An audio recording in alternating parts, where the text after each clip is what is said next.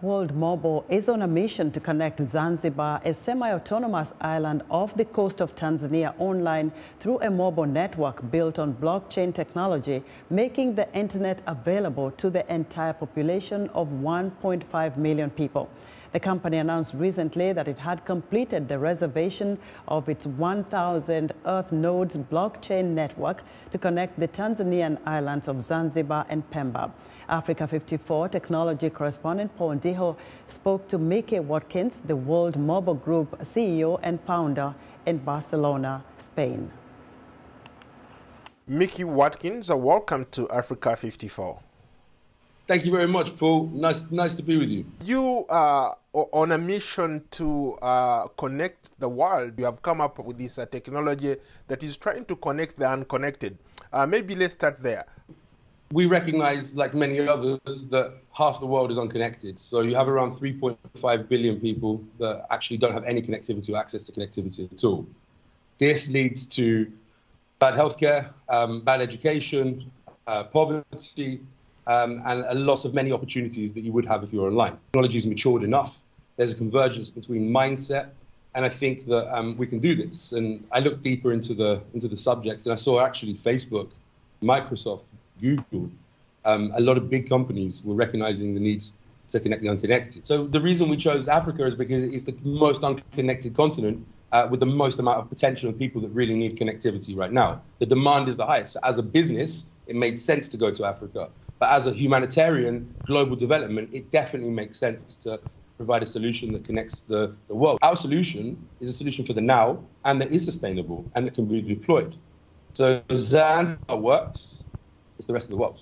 But we, we're already in, in negotiations with over 18 different countries. Our team is traveling to, um, to West Africa in the next couple of days. Now we're, we're here today, ready to launch our first dynamic network, a hybrid network for, made up of balloons in the sky, um, tethered to the ground and uh, mesh network on the grounds. And this is happening in Zanzibar. It's uh, remarkable that uh, in a very short time you've been able to do uh, so much on the ground. Why Zanzibar, of all places? Tanzania is very close to our heart. Um, two of the, the, co-founders of World Mobile have resi- uh, lived there and uh, have resided there.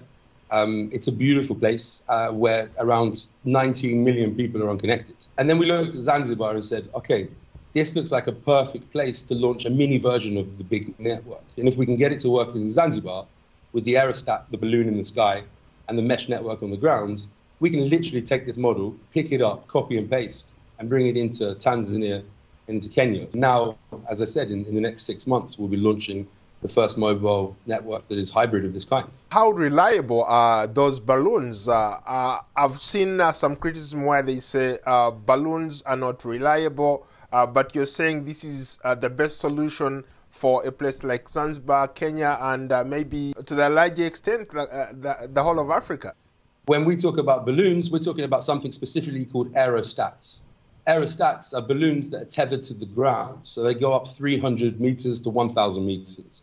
At 300 meters, you have around a 71 kilometer radius of viewing angle. Each aerostat can connect around 100,000 people on the first version. Um, and you can launch you know, 20, 30 aerostats in, in one country. And it's a perfect solution which costs around 10 times less than the existing mobile network operators. Speaking about uh, mobile uh, uh, network uh, operators uh, in the country, uh, there are so many of them. how are you going to be able to compete with, quote unquote, the big boys? Good question. So there's 1,000 mobile network operators in the world, maybe a little bit more. They, they cover the connection for around 4.5 billion people. There are zero mobile network operators for the unconnected because they're still unconnected.